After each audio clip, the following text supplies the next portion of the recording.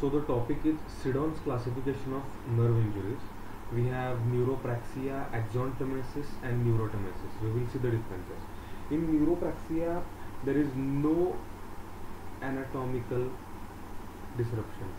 So no anatomical disruption or no anatomical disturb. Um, both the sheath and the axon are intact in the neuropraxia. So we can, in another way, we can say there is only physiological abnormality. In axonotmesis, uh, here we have the endoneural sheath and inside and we have inside here the axon so in axonotmesis the only inside part of axon is disturbed. The endoneural sheath is intact. The axon is disturbed.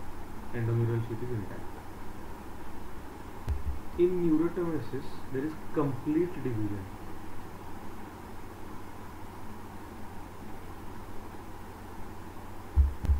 So we have our nerve here and there is complete disruption including the endoneural sheath and the axon beneath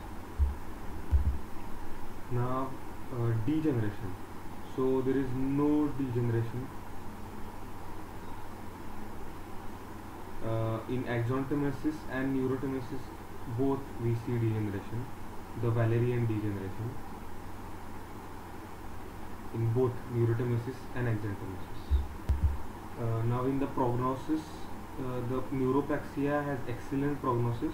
It uh, recovers completely completely. Uh, in axonotmesis uh, it is good prognosis but uh, less than neuropraxia uh, and in neurotmesis the prognosis is very poor. Then uh, as we have seen that axonotmesis and neurotmesis uh, undergo degeneration so to recover they undergo regeneration and we have a clinical significance for that. That is Tinel's sign. Tinel's sign. Which is absent in neuropraxia uh, and it's advancing in axonotmesis and which is static in neurotmesis so advancing